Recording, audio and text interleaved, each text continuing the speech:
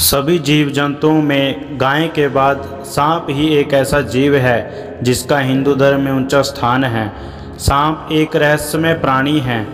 देश भर के गाँवों में आज भी लोगों के शरीर में नाग देवता की सवारी आती है। शिव में प्रमुख गणों में सांप भी है। भारत में नाग जातियों का लंबा इतिहास रहा है।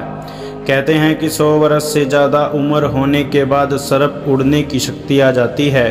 सर्प कई प्रकार के होते हैं। मणिदारी इच्छादारी उड़ने वाले, कैफणी से लेकर के दश फणी तक के सांप जिसे शेष शेषनाग कहा जाता है। नील मणिदारी सांप को सबसे उत्तम स्थान माना जाता है।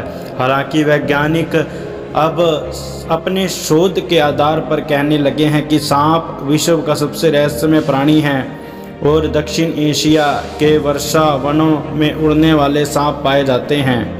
उड़ने में सक्षम इन सांपों को क्रोसोपेलिया जाति से संबंधित माना जाता है और कहा जाता है कि नागों में श्रेष्ठ शेष नाग है, जो कि उत्तम श्रेणी में आता है।